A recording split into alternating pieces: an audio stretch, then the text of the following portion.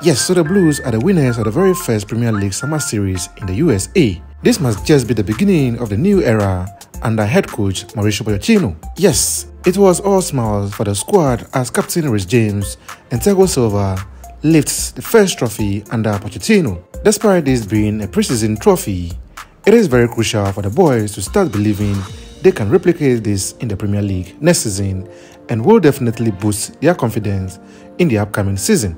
Of course, I personally can't stop smiling after disappointing last season and seeing the boys bring new wave of joy around the Stamford Bridge.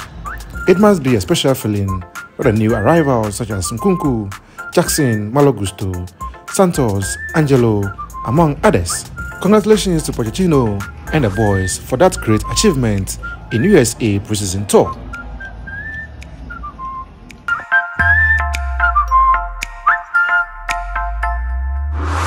Fellow Blues kindly leave your thoughts below. Subscribe, like, and be here for more updates. Thanks for watching.